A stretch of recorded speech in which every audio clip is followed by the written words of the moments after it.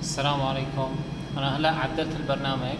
صارت إذا نزلت السرعة عن 10 هرتز تفصل المضخة مشان ما تصير آه، في مشكلة وفيلر هلأ رح نجرب نحن.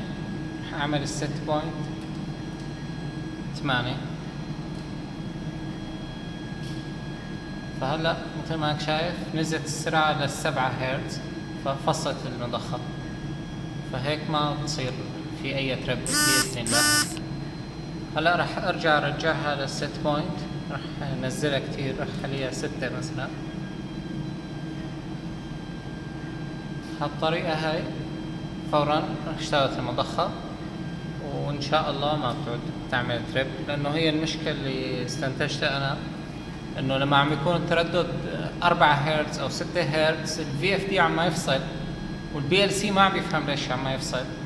فبالتالي بيعتبرها ال PLC إنه المضخه غير متجاوبة فبيسجلها انها failure وبيوقف التعامل معها والله ييسر الحمد لله.